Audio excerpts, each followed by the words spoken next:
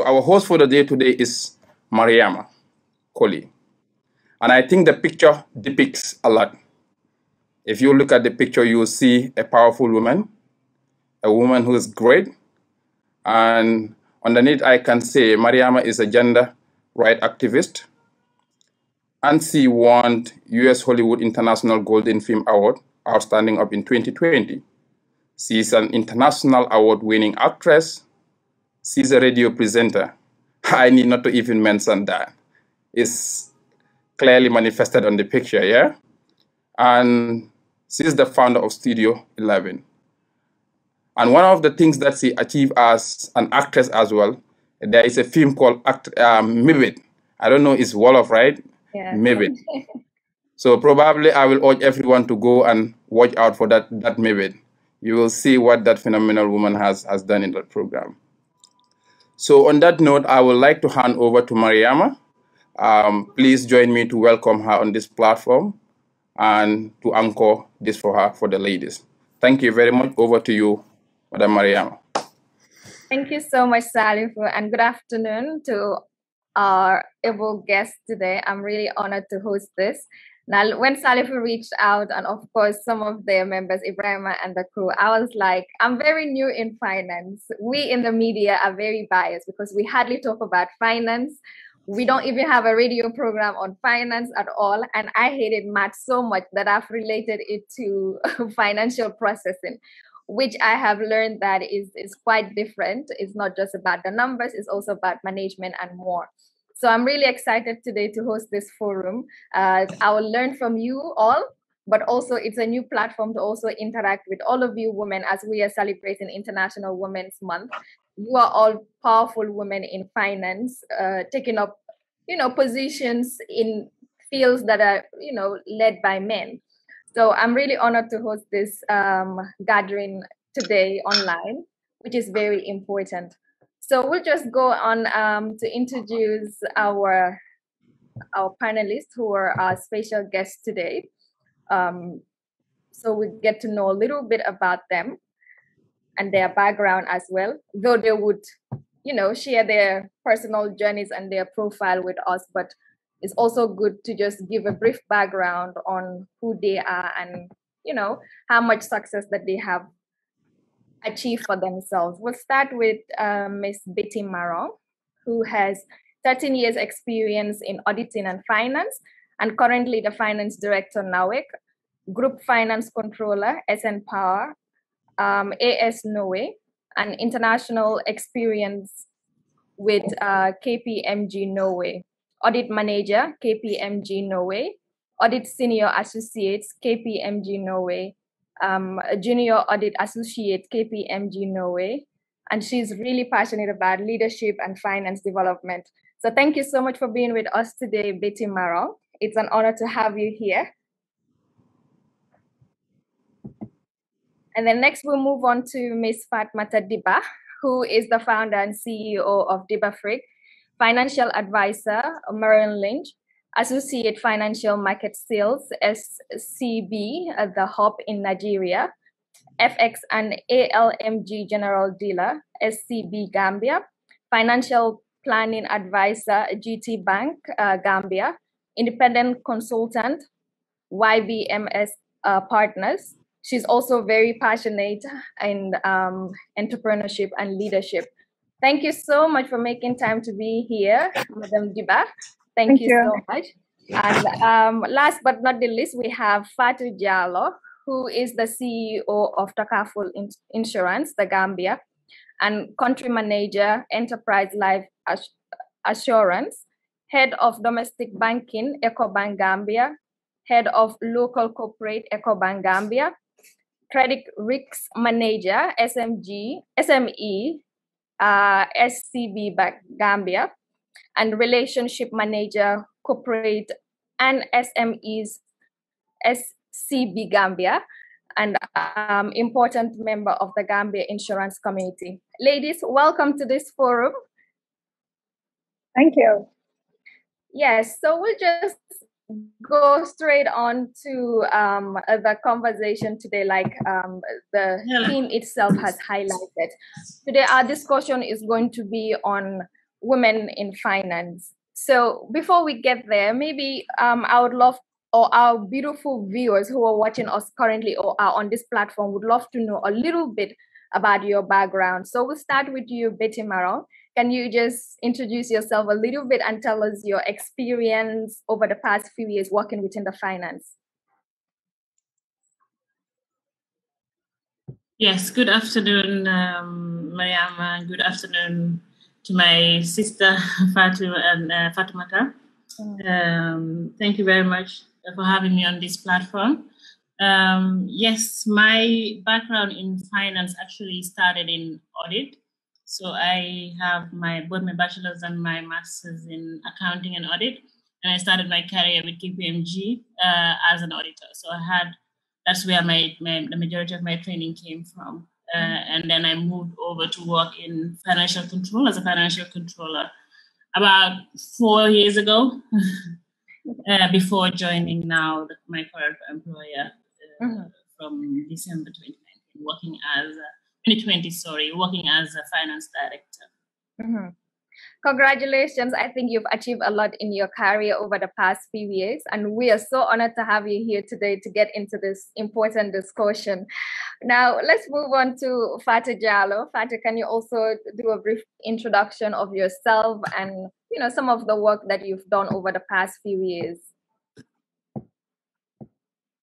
Um, good afternoon. Um, thank you very much, Mariama. I am honored to be on this platform. Um, and good afternoon to the fellow women and men on the platform. I'm really um, honored. Yes, um, I'm a banker. Mm-hmm. I have. Uh, I started working as a banker uh, when I was in, when I was studying in in UK. I worked for Barclays Bank mm-hmm. for about five years before I moved back home. Worked for Standard Chartered, then mm-hmm. EcoBank, and in 2015, I moved slightly within the sector mm-hmm. into the insurance industry, and um, I've been I've worked for Enterprise Life for five years, and recently moved to Takaful. Yes. Um, as their CEO. Mm-hmm. So I'm privileged to be invited to this platform. Thank you very much. Thank you so much, Madam Jallow. We are really honored to have you here, and also congratulations to you on all your great achievements over the past few years in your sector. And then last but not the least, we have another Fatoumata uh, Dibba. So we have two Fatous here. But yes, Fatoumata Dibba, uh, briefly introduce yourself and tell us a little bit about your background too, please. Thank you so much, Mariama. Mm. Thank you, everyone around. Thank you, the panelists. I come from a tribe called the Badibunkas. So naturally, I'm a woman in finance just because that tribe is known for loving money, yeah. knowing how to deal with it, and knowing how to manage it. Growing up, I had traits of being trustworthy and being accountable. So I've always been managing money for my family. Mm-hmm. I grew up into the world of finance because I wanted to help people manage their finances. Mm-hmm. So in 2011, I did yes. my ACCA, completed it. I finished my MBA in 2012, mm-hmm. did ACI, which is a course in treasury management, in about, I think, 2014. Grew up um, and started SIE, which is a securities exam mm-hmm. in 2020 mm-hmm. or 2019, I think. I also did a couple of Series 6, six Series 7, Series 66 in finance. At the end of the day, it's all about the passion that I have in finance that got me to this level. Mm-hmm. Well, thank you so much, Fatoumata, for sharing that, and uh, congratulations to you too, and all the success that you've earned. So that, I mean, just listening to them introduce themselves and all the um, accomplishments that they have, it really tells you that today we're going to have a really solid conversation when it comes to women in finance. So uh, we'll start with you, Betty Marong. Uh, why do you think we have so much gender gap in the area of finance? We know it's, it's, a, it's a sector that is led by men, uh, but why do you think we have such a huge gender gap within this area? Betty? Um, thank you, Mariama. I think yeah. a very big question for me to answer. But I think I can speak from my experience, and unfortunately, my experience is not from finance in Gambia, but from where I uh, did my education and my training in North. And when I started in KPMG, they did they generally recruit on a 50-50 basis. So they recruit on average around uh, new students every every every year, uh, mm. every year, and it's almost balanced. Sometimes even more more more women. And during this year's International Women's Day, they were doing uh, maybe a little bit of soul searching as to how is it that 100 people are hired and it's almost 50-50 women and, and men who start off, but at the top, we, they just have 16% partners who are women and mm-hmm. trying to examine why that happened. I can only speak from my own experience mm-hmm. and how people that I started my career with uh, started to pursue the career ladder at some stage. So we all started off in the same, but around the time you jump from being a senior associate to a manager, a lot of people couldn't handle or didn't want to deal with the pressure of working in, as a woman in finance. So that's yeah. around the time when, at least um, on average, uh, we start building our own families or having kids. And you kind of, some of them just realize you want to spend more time with because they'll just take a lot of time from you. Mm. And you don't want to have that jungle because it requires uh, by the way, in the Gambia right now, internet connection is just horrible. So please bear with us if we have some of these issues uh, coming coming up. But uh, Fatou Jallow, as the Chief Executive Officer of Takaful Insurance, uh, why is it important to have more women in finance or executive positions? Um, Mama, uh, I've, I've always said, um, as as a woman, we're natural leaders, and um, finance to me is a discipline. Um, as a finance person, you're expected to have the basis of financial discipline. So if you're a natural leader and then backed by the fact that you have a financial background, mm-hmm. it, it just um, translates into things getting better and things being done in the right way. Mm-hmm. So if you have more women in finance, that means you'll be able to deal with like women deal with children women deal with um, men women deal with society as a whole mm-hmm. so i think really if you have more women in finance it will really help in getting everybody do things the right way because mm-hmm. at least if you have a financial discipline as as expected as a woman it will really help you in um, getting that to the to the next level and then to another level and then by the time you know it everybody has the financial discipline. And so if you have more women in finance really you are you are just um, portraying the right direction getting people to get to do things right. For example if you're a banker uh, like somebody said uh, you're really trying to help people to manage their finances mm-hmm. and to do what is right. You're not supposed to lend if you don't need to. So th- these are all things that women in finance are doing. And if you mm-hmm. have more of that, it means society as a whole will be heading towards the right direction. Yeah. If you ask. Well, that's interesting to know because most of the time women are labeled as high expend you, you know very expend expensive people or they spend a lot. Like we our expenditure is just too high. You know we want to buy the most trendy hair we want to buy the most trendy mm-hmm. clothes. So we are naturally labeled as people who spend a lot. So mounting such positions does that like does our lifestyle really affect the financial management that we do or walk around? Maybe any of you can answer that if you want to that you know for me that is that is lifestyle but if you mm-hmm. look at even the woman at home the housewife at home has mm-hmm. to manage um, the, the, bit of finances that she that she has yeah you know be, be it business being at work being at home or whatever discipline that you find yourself if mm-hmm. you don't have that basic financial discipline it really do, will not will not help you yes, some women are extravagant in spending, yeah. but really, uh, if you have the basic financial discipline, it really helps you to to manage. You know, mm. because finance is a resource that is never enough. Mm-hmm. So it is a it is a resource that has to be measured at any given time. Mm-hmm. So if you measure, you'll be able to to manage, and mm-hmm. then um, you probably will not get into trouble. That's right. Thank you, Fatou. Uh, Fatoumata, now as an entrepreneur, how has your financial experience helped in the business that you run? Like for it to be successful and for you to be a good entrepreneur, has your financial background really helped in managing your own business? A lot. Mm-hmm. I um, know for a fact that being a financial professional requires you to be very articulate with numbers yeah. very strategic on how you deliver it. Mm-hmm. So, being a financial person allowed me to be number one, very good in Excel. I'm able to play with numbers, make simulations, mm-hmm. understand my risk prior, and be able to address it before it happens. Mm-hmm.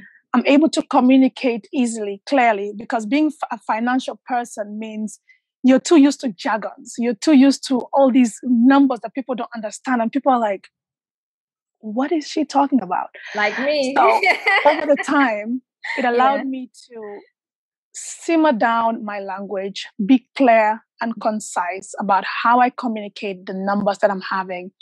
And because I have that advantage, I'm able to do that with my employees. I'm able to do that with my clients and my peers to show them that, okay, this is where we are in terms of numbers. This is what the numbers are saying. This is the literature that we need to look at. And this is where we're going to go to. Mm-hmm. Being a financial person, like Fatou mentioned, is all about discipline. It allowed me to be disciplined about spending yes. my money. And when I am disciplined about spending my money, I have more money um, with me that allows me to then get to start a business, then get to build the estate that I have so far. Mm-hmm. There is a lot of advantages of having financial background. Even with your kids, I have piggy banks for my kids. I pay them for the jobs that they do. Yeah. It allowed me to make strategic decisions mm-hmm. every step of the way.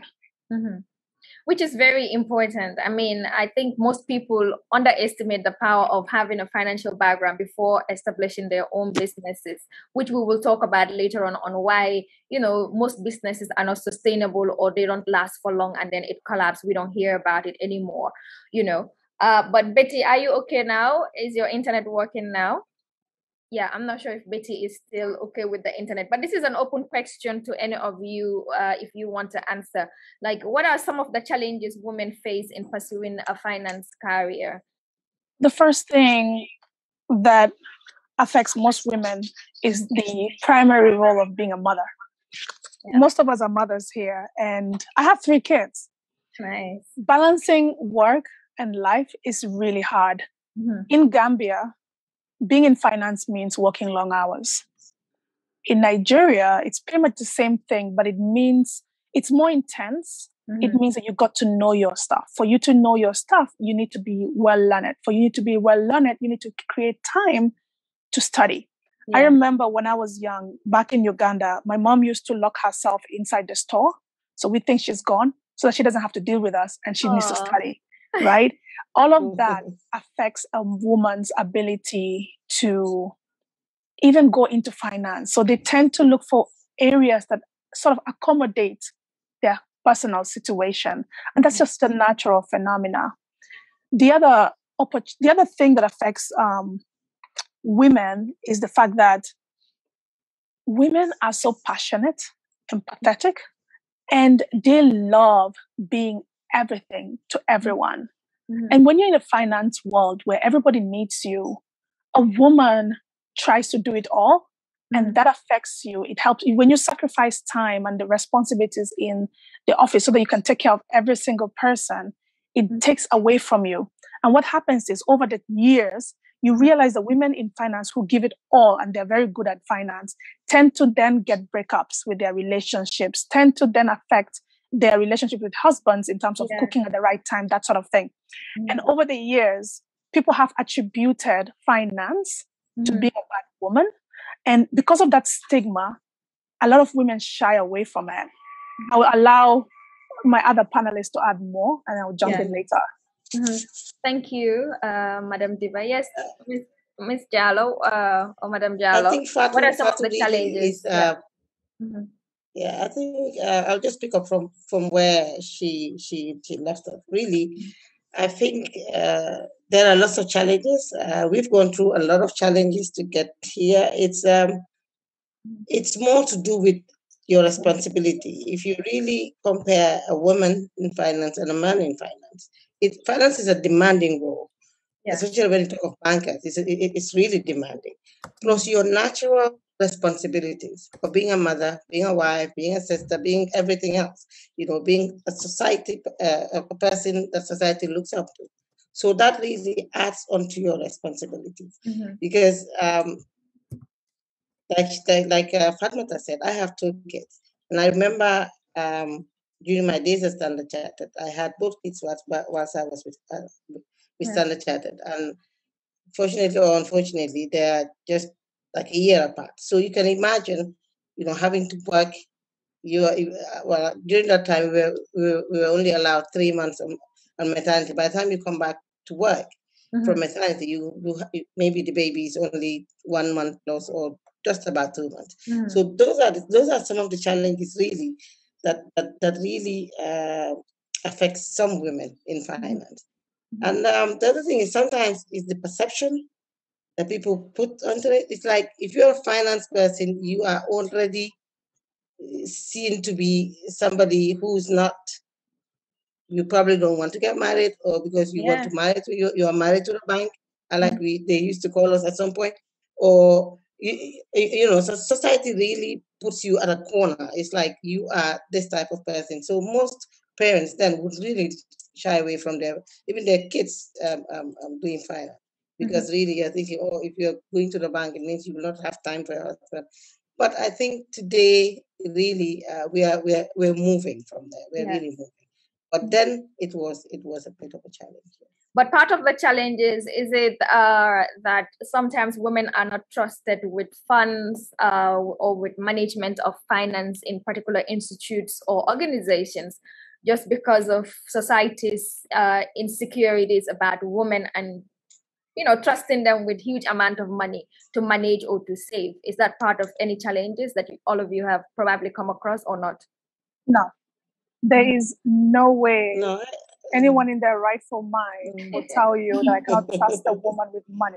Mm-hmm. Even the most insecure husband gives his money to his wife because exactly. he knows yes. her capabilities. Mm-hmm. It's just the fact that sometimes women also do not have the confidence in themselves to say, I can manage million dollar portfolio.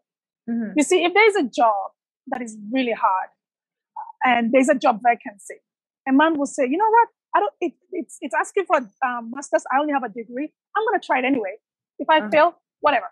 Yes. The woman will say, well, I've not. I'm still doing my master's. I've not graduated. I don't have my certificate yet. Let me wait until I get my certificate. And the one mm-hmm. with masters will say, well, I don't have the years of experience. exactly. they, they, women love being perfect. Yeah, and they just want that perfect moment. And life isn't perfect we need to understand that in our imperfection, we're mm. perfect. So that, like Fatou said, mm. the stigma, the perception, it, it affects us, right? Mm-hmm. And mm-hmm. sometimes it's not the society, it's the inner voice mm-hmm. inside of us that mm. tells us you're not good enough. All right? Yeah. And the other issue that we have is that as mothers, again, I'm going to go back to the issue of a mother. Women love being mothers to their men, mm-hmm. to their kids. Mm-hmm. And as mothers, we sacrifice. My child wants to go to school. I want to go to school. Of course, I'll mm-hmm. give it to my child 1st mm-hmm. On average, a man will say, Well, let me educate myself first. When I make money, I'll take it to school. the woman will say, um, Let me sacrifice me so that my man can be the king. So he, you know, provides so that mm-hmm. my kids can go through life. Mm-hmm. All of that um, is what we go through and we just need to learn how to balance the two i guess Mm-hmm. Well, that's very important, knowing how to balance the two. And I'm glad that that point has been made clear now that women can be secured with funds. So don't be scared. I mean, if you're out there and you're still doubting, we are okay with that. You can trust us with your money. But um, you, as guests, the, the, the panelists that we have today, you can start sending your questions on the chat group. Uh, if you have any questions for your fellow partners today on this panel, I mean, you can just start sending them. But Betty, I think now you're okay. Is your internet working fine yes. now? Yes. Okay, been, uh, great. Uh, Welcome back. thank you very much. Thank you. Uh, so, I came in. Uh, yeah. Sorry. Go ahead. I came, I came in when you were having the discussion about challenges, and I do agree uh, yeah. with uh, with the other panelists on the reasons. I just mm-hmm. wanted to add one more thing, which links a little bit to what Fatima said uh, about the inner voice, which is I think the limitations sometimes, at least in my experience, and I have a different experience with my career than yeah. what is in Gambia. So those cultural things did not hamper me as much as if I lived in Gambia, I would probably have those much more. Mm-hmm. But I think from people from from what I understand and the people when I was explaining, people that drop off the career ladder, it's mostly you are putting limitations for yourself as a woman because you're seeing things as too hard or it will take too too much time and I, or you have to do it the way the men do it and instead of kind of customizing it yeah. to the feminine uh, way of doing things mm-hmm. and if you just think about the fact that in every home that you go to in most homes the manager of that house is a woman yeah. even if the dad is bringing the money at home the woman makes sure that those uh, that that money reaches the end of the month or it's invested ask any man who has a lot of things invested who is the driving force behind that investment? It's mm-hmm. usually the woman. So if you carry forward that natural instinct that you have from just being raised by a mother or whatever it is, mm-hmm. and carry it to the home, use that same feminine uh, management skills. Don't be like the man. A man is a man and a woman is a woman. I think you can actually take take up more challenges than uh, you allow yourself to, to, to, to mm-hmm. do right now. Just because you think, oh, I'm going to have kids, I probably don't want to take up this role because mm-hmm. it will take too much time from me. I'm mm-hmm. pretty sure you can do it if you want to. And That's a lot of right. women are- That's right. Well, thank you so much, Betty. But um, we all know we're in a phase of pandem of a pandemic, which uh, which has affected all of us financially in our businesses, in organizations that we work with and even with our life personal lives uh, so betty how do you think we can sustain our finances during this pandemic um, I mean, personal or for, for a company wide. I mean, personally, I think uh, in the pandemic, uh, especially with uh, countries who are restricted from traveling or even on, on lockdowns, mm-hmm. Uh, there's much less spending. I mean, should be. You're not going out, you're not buying as much, you're not traveling as much. So, mm-hmm. in my opinion, this is a golden opportunity for people to actually redive, I mean, divert funds to actually savings or investments mm-hmm. instead of, you know, buying online or whatever avenues that you have to spend your money. You are, if you are fortunate enough, unfortunately, there are a lot of people who have lost their jobs and their livelihood in this pandemic, and it's very sad. Mm-hmm. But if you are fortunate enough to retain your job at the same salary, I think you are financially in a much better position uh, than you were during the time uh, without COVID, where you are going out, spending money on a daily basis. And the activities always cost money, at least from mm-hmm. from my experience. So I think I, I, that's what I would like like to believe. But um, in, in, in companies where you're getting a little bit uh, less business, less revenue right now, it yeah. is actually a golden time. Crises are a golden time to actually review your cost, uh, mm-hmm. your cost base and your spending. Mm-hmm. It's also the perfect moment to get the organization to buy into cutting costs because when good times, no one is interested in cutting costs. So the finance person is the only one nagging everyone. We have to be aware of costs because oh my god, why do we care? We're having revenue. We can yeah. fund this. Yeah. But in, in in good time, in bad times, is usually when you take those tough decisions and you have a buy-in. So let's say you're overstaffed in your organization and you've been you've been nagging on them and telling them the cost of payroll is is more than we can sustain, and no one listens to you. Right now, you're telling them, really, we cannot. We're not even getting half the revenue we're getting uh, anymore. So maybe yeah. it's time to reorganize and let some people go. That's not usually someone something that people like to hear, but in times of crisis, they want to hear ideas of how to cut costs so they can maintain, uh, they can survive with the revenue that they have. Mm-hmm. Those are very important points that you just gave there, Betty, which I think most of us will start putting into consideration because I think people are still not aware that they need to learn how to sustain their finances during this pandemic because nobody knows when this will end. Are the vaccines working? We don't know. Is there ever going to be medication for it? We don't know. Is the world, in fact, going to go back to normal? Is business going back to normal? We don't know yet. So we are all in the cloud there. And I think sustainability is very important and management during these times. Now, um, Fatoumata Dibba, uh, we understand that you've lived in different uh, countries with different cultural backgrounds in the UK, in the US, Nigeria, and of course, Gambia. Um, how did you manage to succeed in such different multiple um, cultural backgrounds and financial structures that are not also the same? It boils down to being open minded. I'm so fortunate that I am the daughter of my dad. really, he, he he's worked in the UN and he's always been busy. So when I'm with him, obviously you would want his time, you'd want to play with him. What he does to me is he gives me strong books to read. And he tells me that once you finish reading that book, come and do a presentation of what the book is talking about and what lessons you've learned from it. Mm-hmm. So I've learned over the years to number one, understand being open minded. Mm-hmm. My mindset changed based on the fact that I've read really strong and powerful books. And diversity is a mindset. When you get to meet different people and they give you different lessons, you become humbled by them. Yeah. The moment your cup is full, you cannot take in any tea.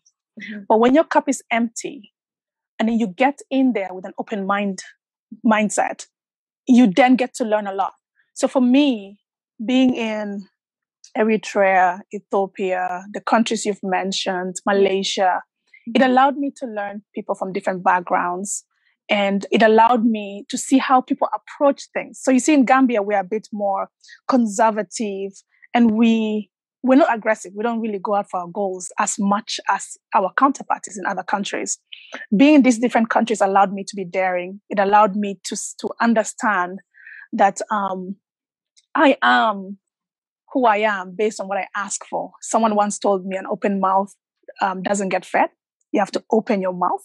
The willingness to understand each culture, regardless of how I feel about the situation, mm-hmm. allows me to capture one thing after the other from every single person.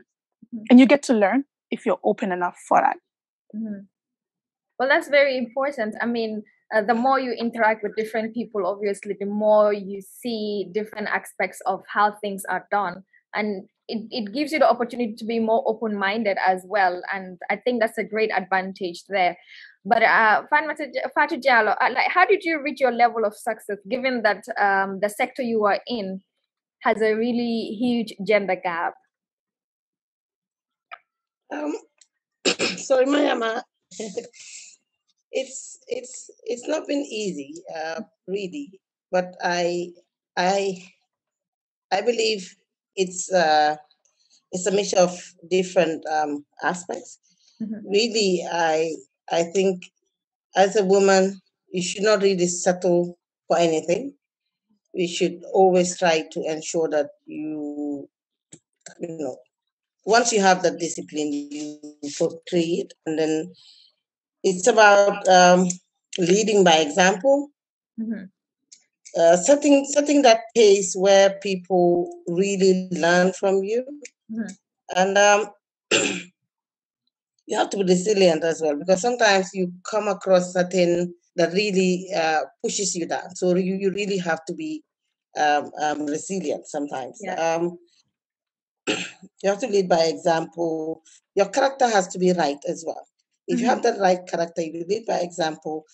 Um, you usually, as we all know, it, um, working under the, the, the private sector, mm-hmm. anything mm-hmm. that you achieve is out of merit mm-hmm. because there, there are basically no favors.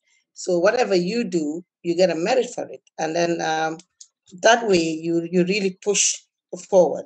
Mm-hmm. Um, you don't take no for an answer. You don't you don't really understand what it means by impossible. You mm-hmm. really go for you know whenever you, sometimes you have some challenges tasks at hand, but I I really used to look at this as um, stepping stones. Mm-hmm. It's like okay, there's this task. It's very difficult. You you you can't really do it, but it keeps you in the office or it keeps you up for a long time because you want to get a solution. So mm-hmm. once we continue to do that, it really pushes you up because somebody out there looks at you and said, "Hey, he's a problem solver. He's a solution giver. He's yeah. not just somebody who would just take excuses. Like uh, my fellow panelist says, as a woman, you cannot just sit and there's this um, little voice in your head telling you, "Oh, you've done your best." And that's it. Your best is probably never enough. You need to always aim higher and be able to, you know, produce results. That way, anybody looking will say, mm-hmm. okay, at least you mean business. If you are given anything, you you. It's not always uh, uh, um, effort, but at least it is the solution at the end of the, the mm-hmm. day that uh, that really matters. Mm-hmm. Yes, don't limit yourself. I think that's basically don't limit, don't limit yourself. You know, go to the highest point of whatever you think you can okay. achieve and don't just leave it there as oh maybe i'm not too good because of my sexes that uh, maybe this is not okay. meant for me. This position is too big of a title that probably i'll not be able to handle. So i i i love that advice. But similarly also with betty i mean you have also um, been in a country like norway where the structures are well put together from what we understand, I mean, as Africans, of course, Europe is always seen as a country or a continent where, I mean, everything is structured really well compared to a developing country like the Gambia. So, how were you able to transit from that type of um, background, like coming from Norway to Gambia, in most of these institutions where financial structures are lacking?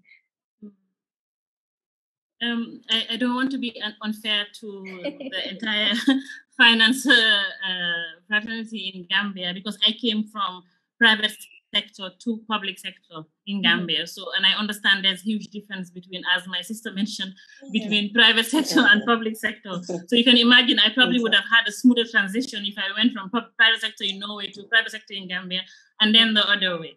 But of course, it's a, if you can just imagine this uh, comparison, is a huge shock for me. So I feel like I've gone back 10 years. Mm-hmm uh, the, when I started my career in audit, where things were very manual and we had to carry around these folders. Mm-hmm. Uh, that was in 2019 when we dropped 2009 sorry when we dropped those and went all digital and when i moved to my new role i was privileged enough to have a, a, a manager supervisor who was mm-hmm. thinking the same way as me a paperless uh, office where we try to um, utilize the tools that are available uh, IT wise to yeah. ensure that we automate as much as possible and do spend most of our time anal- analyzing and giving quality uh, uh, information and advice to the board of directors and management instead of spending our time reconciling and doing all these manual tasks that I find now in in, in, in my role in Gambia and people who are working on. So that yeah. has been a shock, and I, I, I get shocked every day of course, I can imagine. I get I every single day uh, since I got here in, in, December because yeah. I think, and one of my one of my colleagues or my people working in my department actually looked at me on Friday and said, "You know what the problem is?" I said, "No." He's like, "It's because you didn't think it would it, should, it could be this bad." Because what? Like, didn't think it could be this bad. So oh, that's yeah, why I didn't expect it. Yeah. Yes, I did not expect it to be. I mean, it is literally 10 years uh, behind for me because mm, I've moved on a lot. So it's, it, it, it's been a shock. But I mean, I think technology wise, that development happens much, much faster. So 10 years uh, behind might be fixed in a year. It is possible to fix in a year because technological development has come that way. And I think people are easy to carry carry with you into those challenges if you can convince them and you can show them that look i have experience using tools and technologies and it works very well and makes my day very easy and it makes my work even more um, enjoyable and more valuable because mm-hmm. i don't have to sit and do these manual yes. tasks that computer can do mm-hmm. Well, thank you for sharing that with us. I mean, uh, but it's always interesting to come back home and work and help also put the structures together. I think this is why it's always important. We are always excited to receive back Gambians after being away for so long, either on studies or work, to come back home and share their experience and their expertise with, you know, the rest of the people, so we can also learn to develop and grow to that level where things would at least be on a, you know, scale that is expected. So this is a general question to any of you who wants to answer it. Um, now that there's so much advocacy going on around the world on women uh, being independent, independently financially guided, or you know, being financially independent. I mean, it's, it's a key discussion, especially in Gambia. You know, we'll take the rural Gambia, for instance, where still women are struggling to be independent, uh, to be independent with their finances. It's either they work hard and at the end of the day, they bring it back home and their husbands take it away from them, or probably they don't even know how to manage their own finances and they give it back to their husbands. And guess we all know the rest of the story. They're going to say we are gender biased, but of course, you use the money for your own personal use. You go marry a second wife. So financial independence is is very important in this generation that we are in. But when you all hear financial independence, what does that mean? Uh, Mariama, sorry if I may come in. Um, yes financial independence really follows uh, financial discipline. Mm-hmm. And like like I started uh, with, um, if you are financially disciplined mm-hmm. in trying to push this women agenda through, it really helps us because unless you are financially um, strong, mm-hmm. it will be mm-hmm. difficult to be independent. Mm-hmm. Because if you continue to sit at home and wait for somebody to come and give you something before you can move, or mm-hmm. because before you can cook or before you can eat obviously you will you it will be difficult for you to be or to call yourself independent yeah. so financial independence really uh, follows the financial discipline you have a financial discipline then you have financial independence then you can call yourself independent or at least be able to uh, mm-hmm. move certain things or do certain things on, on your own so mm-hmm. as women really i think um, it's, it's it's very important that we have this financial discipline because um, if, if, if you if you talk of these women in the, in the rural areas, there were times when I worked on the SME where we needed to support women. Mm-hmm. You you realize that some women have skills, but really because they don't have the financial discipline, yeah. the skills will be back to zero mm-hmm. because you will work twice as hard, but because you cannot manage the finances, the little finances that you are getting, it will be difficult to move to another level. Mm-hmm. You will see some business, whether women or men, they have the same pocket for the business and for their individual needs. So you mm-hmm. cannot even differentiate yourself from the business. So really, that also will not will, will, will not help. So really, I I I will just allow my um, other uh, um, panelists to to to keep it. But really, financial discipline is is the way is, is, financial is the way discipline. Definitely. Thank you so much. That's very important. Uh, Dibba, you want to add to that? They've said almost everything that needs to be said. For me, financial independence is a state of mind and understanding that you have to make it work in every situation. Mm-hmm.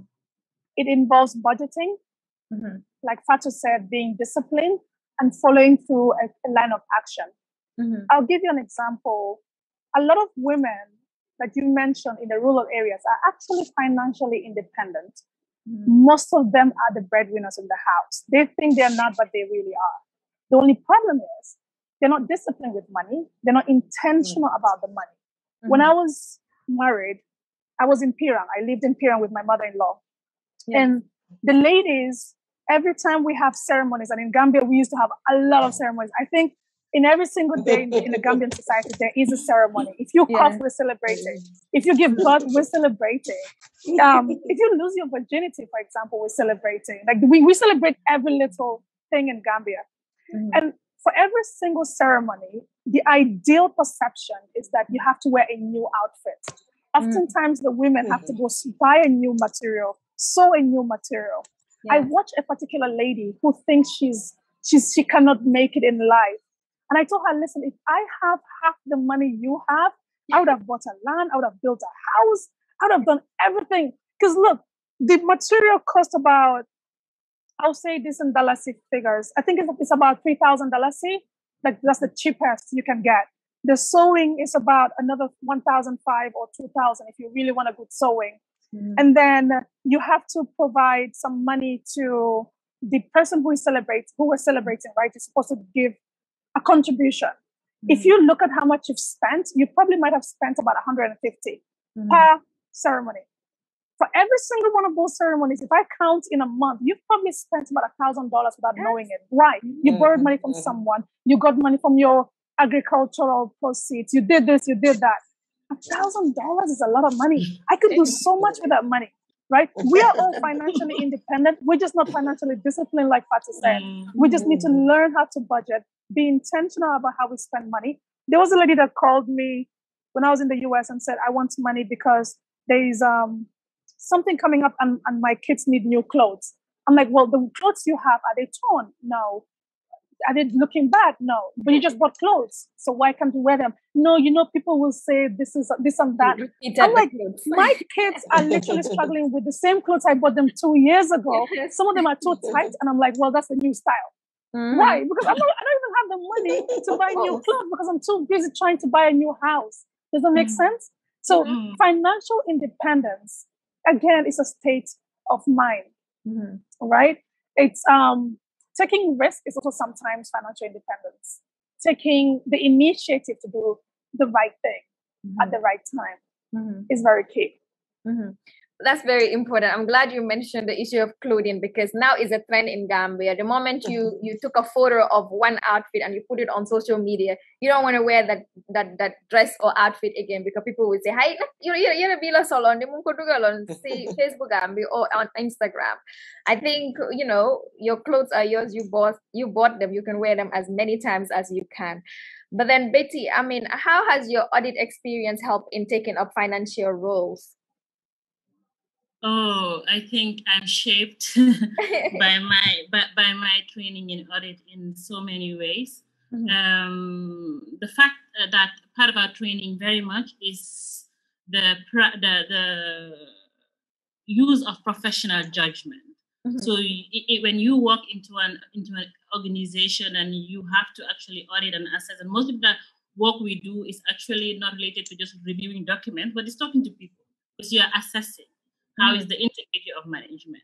How is management's susceptibility to override controls and all of this? So prof- the, the, the, the use of professional judgment, I think that training that I had from my audit, I've been able to use very much in my role as a financial controller, where you're doing basically the same thing, but just you're within the organization, especially now coming into Gambia, where mm. I've never practiced and trying to uh, use that experience to kind of gauge who is telling me the truth and who's not, and who's yeah. telling me half the truth, because you have to do those things. We have this cultural maslaha that kind of is not helpful in a professional setting. Yes. Because I'm, I ask, I'm asking you a question, just give me an answer. I'm not going to go and say, Kimo Mawali. But mm-hmm. that happens, you know. Uh, mm-hmm. I also think that in audit, uh, when you go into a, a, company to audit them and you are writing a paper about your audit uh, work, you have to make a conclusion. You can't leave it open. It's not like, I don't know, I can't say any other profession, but you need to have a conclusion to have your partner or your reviewer review your judgment. So decision making is something that you're trained, you're drilled in. You have to make decisions. But I have met countless people who are scared of making decisions. Mm. And it's even worse in the Gambia. Mm-hmm. People just shy away from making decisions. They'll throw it around until or, or share it so mm-hmm. let's all be part of it. So when it fails, uh, we can all share the blame because it's that twisted blame culture, which is very actually detrimental to growth in any organization. Mm-hmm. Anyone who's afraid to fail is afraid to try and succeed too. Mm-hmm. So uh, that's that's one of these these uh, these problems that I I see as problems because I just don't understand. But I know now that uh, it's because of my training and my background. I've also emb- embraced them so I have been trained with people who don't necessarily they're useless in making decisions because they just don't want to. Some people just want to don't want to be the one who has their, their name written on a decision. They don't want to take responsibilities. I, they don't want to take the yeah. responsibility because there are risks. As if you are in an unhealthy environment, there are risks because the ultimate, the first reaction to a bad leader for you making mistakes is to blame you and you know chastise you instead of trying to under, trying to learn from that experience. Yes. So I do understand the fear, but I think those things uh, have prepared me a lot for the roles that I have taken up subsequently. Uh, but also, uh, for an auditor, an external auditor, integrity is everything. So mm-hmm. as an audit firm, that's one of the things that they guide. You see the big four, the big four audit firms would guide their integrity and their independence like uh, very much because if they lose that, they lose business.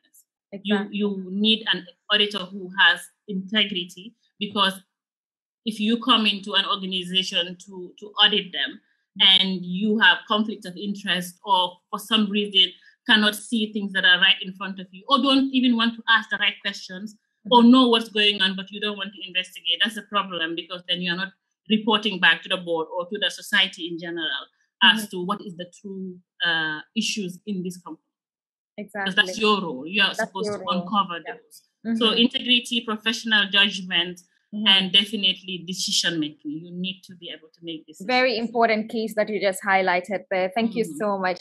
Now, uh, Fatoumata Jallow, I saw that you worked as sales officer, customer advisor, check processor before getting to uh, the position of chief executive. Um, how were you able to walk yourself through that ladder to where you are now? Because we see especially our generation we want the fast track uh, success. Like we we want to quickly mount big positions and not want to do the grassroots job that would also help in our experiences. So how were you able to put yourself in check uh, throughout all these ladders that you climbed until where you are today with discipline um, Mama, it's not been easy. Yes, uh, like you rightly said, I think I've done it all. when it comes to finance and um, customers and customer service.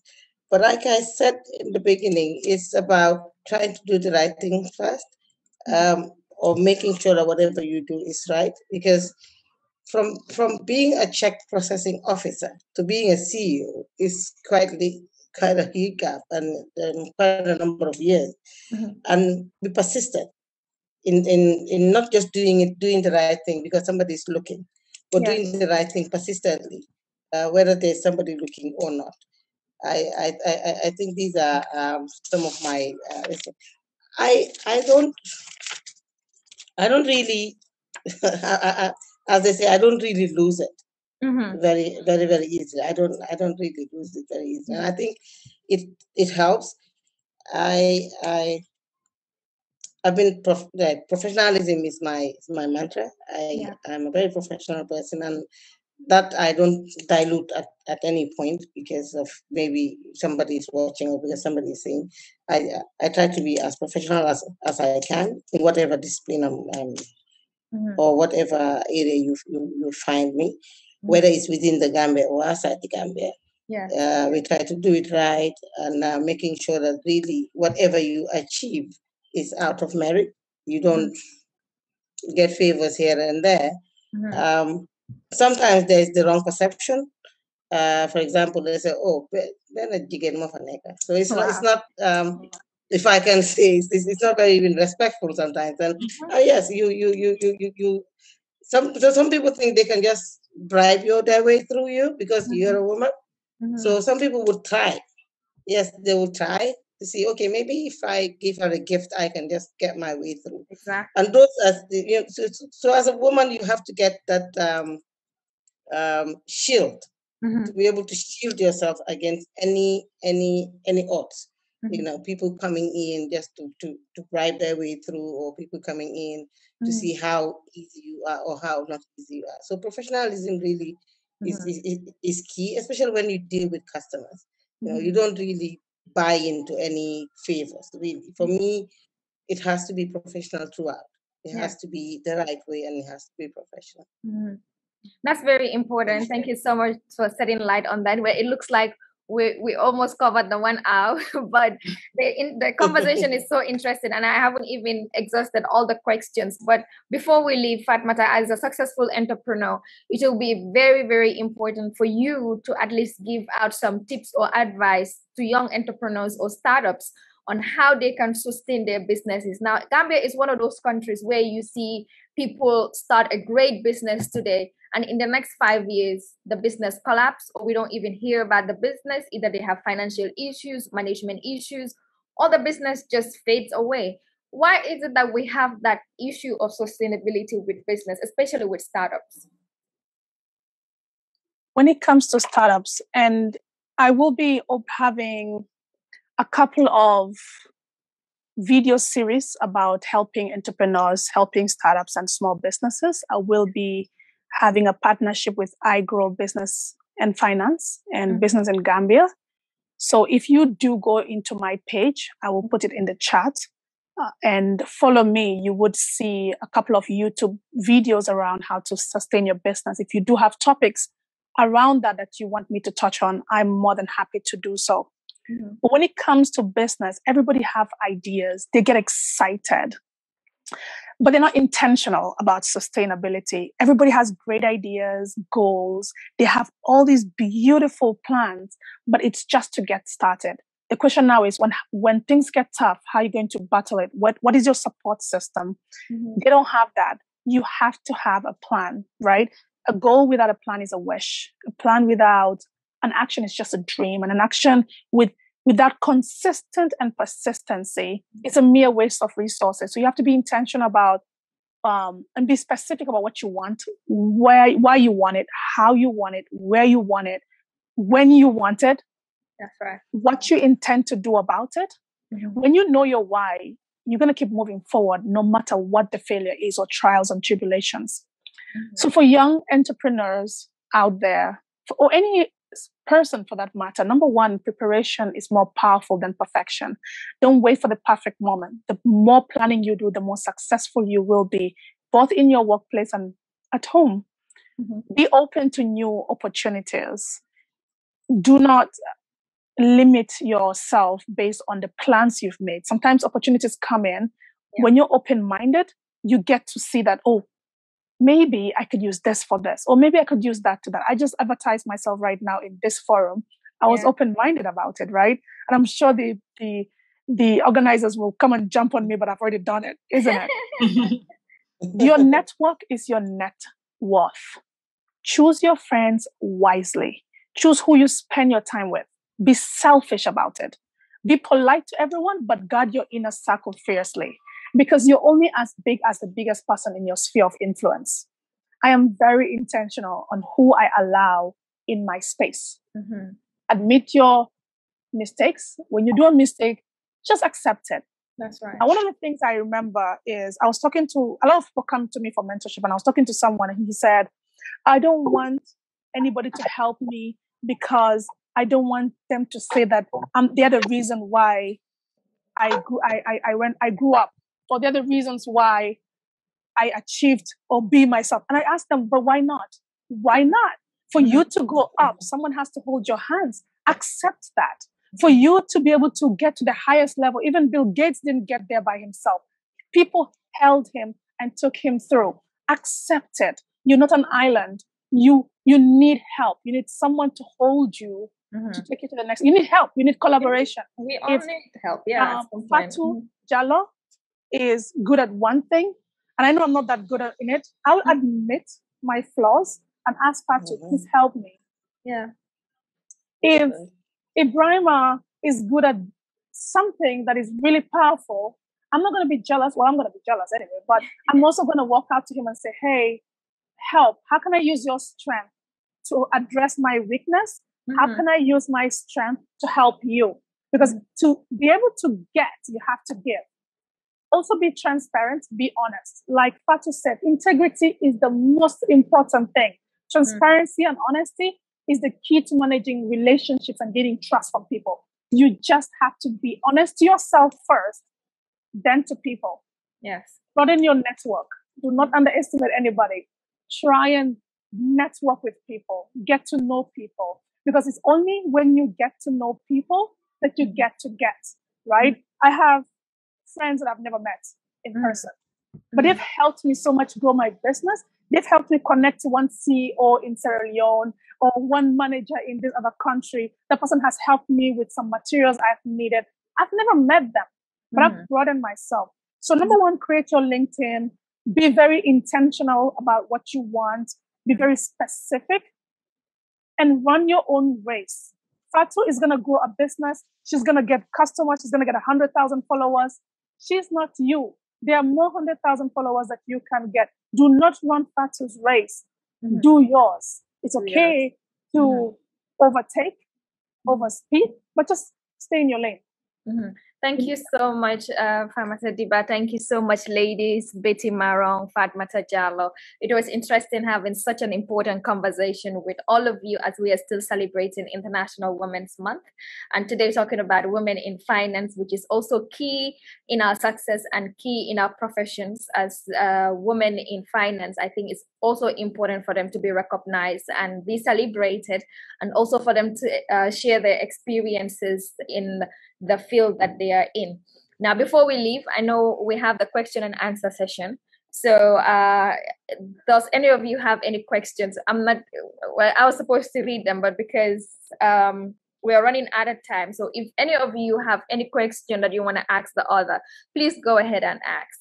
And then later, I'll open it to the viewers who have joined us uh, to be part of this program as well. So, um, does any of you have any questions for each other? Um, I have a question for Fatou uh, yeah. So, um, at least in in the beginning of my career and uh, for most of it, I have seen women uh, who have made it all the way to the top. Uh, and I have had the tendency, of course, to identify more with them and look to them as role models. Mm-hmm. Um, in my experience, at least, very few of them have been inter- interested in in, because they, they, they want to dis- some of them want to dissociate themselves from that feminine agenda yeah uh, so they wouldn't want to necessarily be the ones who's um, who's championing the cause of making sure they they, they mentor those because it will be seen seen as favoritism or whatever it is. Mm-hmm. and i have in my experience not all but seen some of them as trying too much to be men mm-hmm. in their roles and instead of just being their authentic self yeah. How do you see that uh, that that dynamic in the Gambia? Is it different? Are women generally just uh, themselves in when they make it to the top? I'm asking because you've made it to the top. Yes. Or have you? yeah. what is your experience? Because you have you've worked your career. Um, I I think being your authentic self really helps. You don't really need to force to be a to be a, a man or to be. Mm-hmm. I think um, we can't really uh, end this discussion without um, um, realizing that yes, we meet we need men as well in in in in, in helping us. I've I've had men bosses and women bosses who have really uh, I have really looked up to because of one thing or the other. Uh, mostly, whenever I used to see women at the top, I used to think, "Oh, how?" Because mm-hmm. then it was it was not as you know, as we see it today. So I used to really want to know how and why. And really, I have more or less um, intentionally attached myself to them to, to, to really understand. Uh, I mean, some of these challenges that we are actually talking about, it has happened before. I remember I, I had a, a, a lady CEO at EcoBank uh, who was a young, you know, very professional, very dynamic, very, very good. So she actually inspired me a lot. She actually really, really inspired me a lot. And I, I used to look up to her and I used to talk to her a lot. And I used to also try to find out what her challenges were, which is what we are really talking about here today. Mm-hmm. You know, the, the, the, our national responsibilities, the, the, the having the baby stuff uh, mm-hmm. and all that. But really, um, um, it has really put in me that I cannot get to the top without carrying one or two other people. So mm-hmm. based on that, we have we have formed uh, uh, I don't know a cluster of mm-hmm. people who really coach and mentor um, girls. Mm-hmm. Uh, I am I am I attended St. Joseph's High School, so based on that, we have this at St. Joseph's High School. So we mentor girls from that age and then you really uh, uh, coach them to see them come up, get them to believe in themselves, get them to really push harder, get them to understand what they can be in the future. At least try to inspire them in a way. So these are those are some of the things that we we try to do to at least uh, um, create a link and and um, ensure that these girls see light at the end of the tunnel. These girls can also work towards achieving something in life at the end of the day. So that is happening. Mm-hmm. That, that, that is happening, but I think we can do more. Mm-hmm. Um, um, we, we should not leave this platform without probably um, um, um sharing. I know Betty, Betty is my sister, but yeah. probably uh, Fatoumata. I've heard about mm-hmm. Fatoumata, but we did not meet as, as, as mm-hmm. So I think it's important to create these contacts so we get to know each other, so mm-hmm. we get to share certain discipline. Like uh, Fatoumata rightly said, I might be very good at one thing, and she might be very, very good at another. So we need to share. Uh, mm-hmm. that way, we mm-hmm. grow together. Yeah. Mm-hmm. That way Thank we you. grow together. And now it's it's, so it's, it's, yeah. it's, easy and because we can do these things online. Mm-hmm. An hour online, mm-hmm. we learn a lot. Mm-hmm. And then we can we can share a lot as well. That's right. Well, thank you so much. We will conclude by asking each of you to probably give brief advice to young women and girls who are looking forward to pursuing a career in the area of finance. What advice would you give them? But Mata, if I wanna... can start. Um, yeah. Um, yes. Um, really, my advice to girls or anybody is to is three is, is few things. Don't spend what you don't have. Mm-hmm. We cannot spend what you don't have. You cannot always um, always try and put aside something for the future. It helps. Yeah. Depending on what at, on, at what level you are, always try to invest in one thing or the other. Try to save something for for a rainy day, mm-hmm. like we always say. It's not always necessary to borrow. Borrow when it's necessary. If it's not necessary, we, do, we really don't need to borrow. Mm-hmm. And one thing I also want to just um, leave you with is the fact that uh, in, in Gambia, there's one thing that's really um, affecting women mm-hmm. is this uh, the the maternity leave for six months. That is one thing that really I know we are we're running out of time, but I just mm-hmm. do beg to to dilate on this a little, mm-hmm. it was supposed to help women mm-hmm. in you know pushing um, um, nursing their babies and doing whatnot for six months. But here I can tell you today that most most institutions, most hirers are shying away from hiring women, and that is not helping. Yeah. That is really not helping us. Mm-hmm. So I think it's one thing that we really need to need, need to look mm-hmm. at to to continue pushing this women agenda. Thank, Thank you, you so much, Fatoumata. Thank you for your time. Um, how about you, Maro? Uh, Betty, what advice would you give to young girls? Oh, I would definitely uh, advise more young girls to actually uh, pursue the, the, the, the, finance course and uh, and study finance. Um, I want to believe that that's also part of the reason why we don't have so many women in finance, that women shy away from starting that uh, career path to start with. And always when you start, do not start with the goal of stopping somewhere mid, but always have the ambition to go all the way. Uh, people like me, and as my sister mentioned, I would love to help mentor anyone who wants to see or learn from my experience and how I uh, how I made it through school and to my career. Uh, and I think we there's a lot of benefits. I'm pretty sure while I was having internet connection issues, we discussed that there are a lot of benefits to having uh, a gender balance in this in, in, this role in all institutions, but also in the finance role to make sure that we have both perspectives. There's, there's a perspective that we can bring into into into management uh, roundtables, into boardrooms that our, our our male counterparts don't have. So that balance we can only have. So let's say in Gambia today, we there was a legislation that ensured that, that required that you had 40% participation of women in all boards. You'll have a problem with that right now because a lot of women, especially if you need a finance background, are not pursuing that career. But that is, I mean, it's happening in other countries. And whatever, if you want to look at where we are going, just look at what's happening in other countries that are more developed than us. So maybe it is it is time to start investing in those careers. And it is my opinion that you're always guaranteed a job if you study finance. So I don't understand why people are shying away from it. You will always have a job. Like me, my boss and I talk about the fact that uh, if we if the company was going bankrupt, we will be the last people to hold the key and close the door. Everyone will be sent out the door because you need to make sure that you get a report of what the financial situation, as bad as it is, yeah. uh, before you close the door. So that mm-hmm. is a, a, straight, guaranteed career path for you right there. Mm-hmm. Contact me and I'll tell you more. Contact her and she'll tell you more. Thank you so much, Betty Marong. Uh, how about you, Fatoumata Dibba? My advice to young girls out there is be yourself, be authentic, but be daring. Men are always daring. They go after their goals. Yeah. We are always shying and, and short-chaining ourselves. Mm-hmm. Be daring. And cut through this stigma. We're Gambia is very cultural and love the fact that we still preserve our culture. But one of the things about the culture is that it's there's stigma.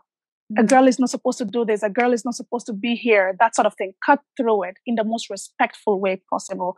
I remember when I was when we had the opportunity to go to Nigeria, the general perception was Fatoumata just gave birth. She's actually on maternity leave right now. She doesn't, I don't think she'll have the time. She has twins. I was like, did I tell you I won't have the time? Am I not going to work in Gambia? So how is an international job or going to another country going to affect that? Because I'll still be at home, go to work. My kids are not going to come to work with me. So what difference does it make? And when you put that across, they're like, okay, that's fine. Well, if you say so. So sometimes you have to speak out. You have to tell them, hey, don't worry, I can do this. Mm-hmm. But you have to believe in that first before you can even say it to begin with. Mm-hmm. Be daring, be yourself. Don't feel that you have to be masculine to be heard. Mm-hmm. You can be feminine. You can look good. You could smell good. You could cry if you, yeah. if you feel pressured. It's mm-hmm. okay. Just be mm-hmm. yourself. Be yourself and be daring. I love that. Thank you so much, Fatoumata Dibba. Now we have two questions from Anita and Suwaibu. Um, we'll just we, we just want this to be very interactive. So Suwaibu, if you want, you can just ask them uh, the question that you wanted to ask. Just unmute yourself and go ahead and ask. Welcome to the forum, by the way.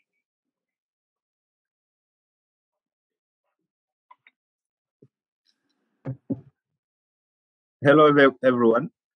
Hi, Swab. How are you? Uh, I'm good. I'm good. Uh, actually, uh, my questions being answered, but uh, if I, if I, if you may allow me just to repeat for the ones that did not uh, heard it clearly, what I was just asking up, I have 70% uh, female representation in my office.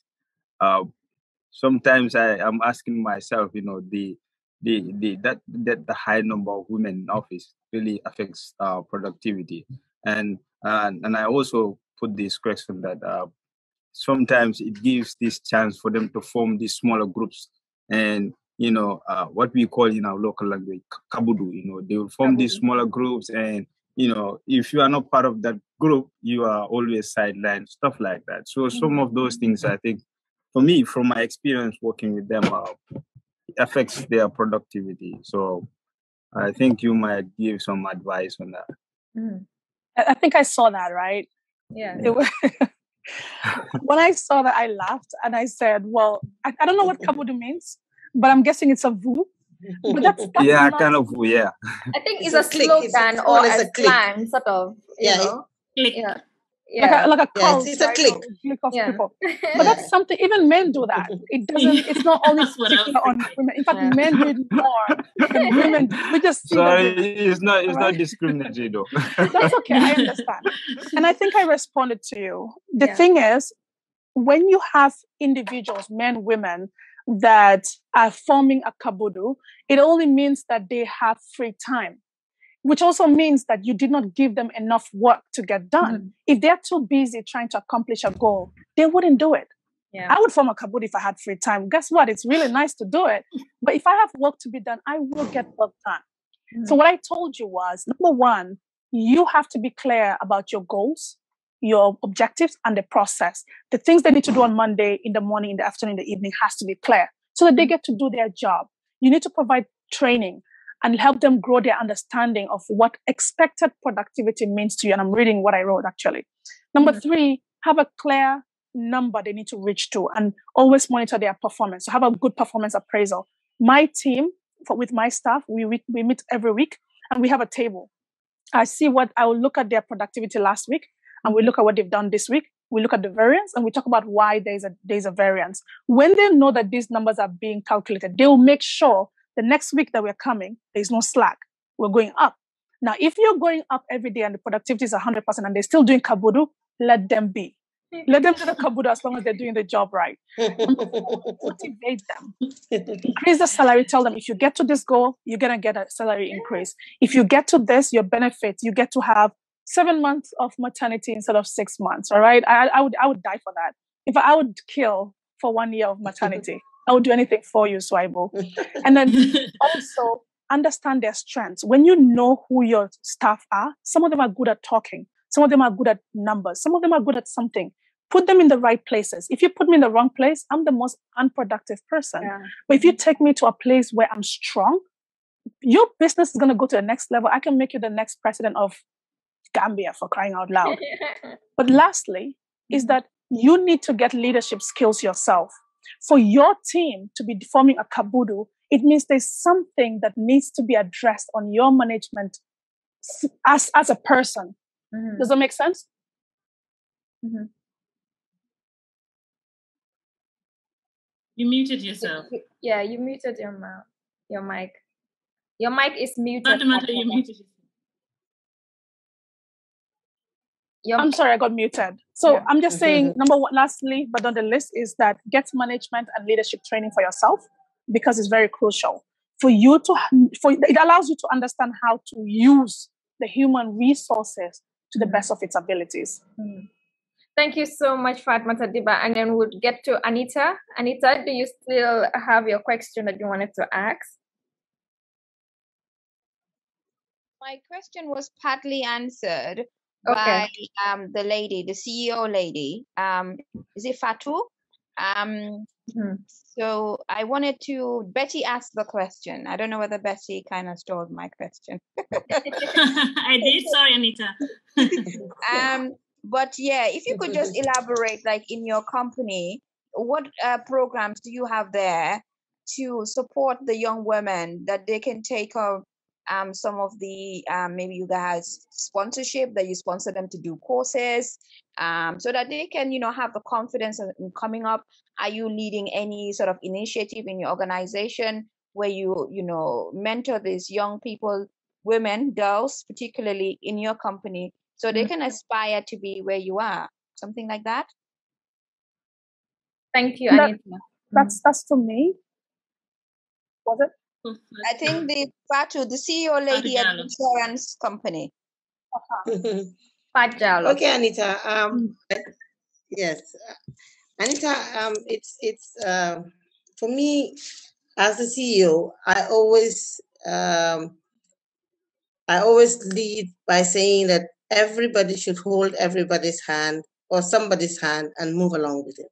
Mm-hmm. Because for me, I believe that I am writing my own story, I'm writing my own book, and in that book, we need to see who and who and who you have been able to move up with. So it's it's more or less uh, a slogan that we talk about on a daily basis, and we have uh, a deliberate uh, um, strategy in ensuring that if you are a manager, middle middle level manager, you need to be able to lift up somebody. So yes, um, um, we do that we we we do that at, at our at our organization, and I also do that in my private life in trying to um, assist women and girls to to get to the top. Mm-hmm. Well, thank you so much, Fatoumata Jallow. That will bring us finally to the end of this interesting conversation and session that we had. Uh, I would like to thank each and one of you here today who participated despite your busy schedules you were able to make time to come here, share your experience, and also interact with other people who are interested in what you are doing. I celebrate you all, like I was saying. This is a very important month for women. So I celebrate each and every one of you. Thank you to all of you who also joined the conversation, Swaibu, Anita, and all of you uh, who are also watching us. Thank you so much for your participation. Um, thank you to IG Finance, if I'm right, for you know bringing up uh, such great initiative, you know, to expand the conversation and also involve women who are also in finance and have their own businesses and leading organizations as well. This is quite a very interesting topic today. I learned a lot you know like i said i i, I am really ignorant about finance deliberately because i i think it's all about the numbers. Since i don't like maths obviously when you talk about finance all the first thing that comes to your mind is the numbers but i now realize it's beyond that it's more than that. So um, people can actually continue to follow you all on social media. I see most of you have your LinkedIn accounts. Um, I don't know if some of you are also on Instagram, especially Fatoumata as um, an entrepreneur yeah and then um yes maybe you can share your links on the chat before we just leave. If people want to follow you on social media and to keep up this conversation or maybe if they have extra more questions that they want to follow up with you all. But thank you so much for your time and i wish you all great success with everything you are doing. Thank you so much um, to ig business and finance as well for this wonderful platform. Have a great weekend and bye bye thank you so much to you too mariama yeah thank, thank you very much mariama thank you thank you yeah, thank you very, very, very, very much, Mariama. I was a bit doomed at some point listening to this great woman. Yeah. Um, I think if we had known, this should have been a two programs at the beginning of the month to celebrate and close it with Yes. these phenomenal ladies. Definitely. I, I think today you you'll probably change your mentality that finance is all about numbers. Of course. Um, it wasn't it wasn't only numbers, but these people have dealt in from corporations to the house, how you manage it, and even how we manage the society. You know, this this tells you that definitely Gambia has great women, and we celebrate you all. So before we end the program, I'll hand over to Mr. Musa Swa to do the closing remark for us before before we close. Thank you very much. Thank you. Over to you, Mr. Swa. Salif. Yeah. okay. Thank you. Thank you. Um, I hope you can hear me. Yes, we can hear you loud and clear, Mr. Swa. Uh, Thank you. Um, thank you, Mariama. Um, this was excellent. I didn't. I don't think I have um, any anything to add. Mhm. Um, Mariama has been excellent from from from get go. I tried. Um, I think some of some of us know you from way back, and yes. um, you know how really determined you were, and it was no surprise you were able to really um, lead lead these discussions to make sure um, everyone line. And I think this is important um, to to the panelists. I think Fatoumata Dibba, we've been with her for for a long time. She's been part of our you know our programs. Fatoumata is is an inspiration. Yeah. Um, she she always she's always ready to give it out. Um, thank you so much for your time, Fatoumata. We really learned a lot, and and I'm sure I can speak for all the um, participants today. Mhm. And to Betty, um, Betty, um, I think we we had a couple of discussions about Betty. The fact that she um, was ready to leave her comfort zone um, back in Norway, um, take the risk. I could say it's a risk um, coming back to Gambia and working for NAWEC, which we all know um, has not been um, the the strongest. So effectively, uh, steering the wheels, um, leading one of the most critical functions in NAWEC. I think it's it's something that has been an inspiration to all of us, and we are all happy to associate with her. And and of course, we're also happy to say within three or couple of months, he's been able to register a couple of success. So Betty, thank you for joining and thank you for sharing your experience. We really, we really appreciate this. And to Fatoumata, um, she's a colleague, she's a friend. Um, we worked together a number of times. We we fought, and I and I'm happy. You know, Fatoumata, um, she she she she really um, you know made sure she she achieved what she wanted. She was also very deliberate. So um, to to the level of the CEO, I think it's is an inspiration. Thank you for coming on. And to all our participants, I think we've we, we, we've been averaging about about 30, 33. Um, I've seen people calling from the UK, um, um, from from all over from over the world. So thank you for connecting, and I'm sure we have a number of um, our colleagues Facebook Live as well. Yeah. Um, thank you all for connecting. We we will make sure we. Um, I think for, for us, the guys that have participated today, I think we have learned.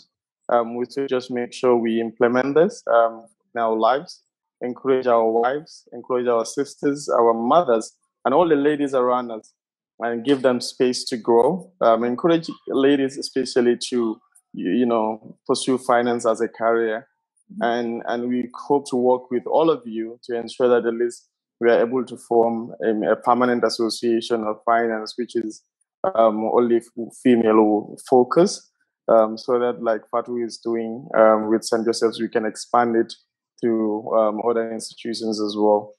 thank you so much. Thank you very much, and um, have a good weekend. Yeah.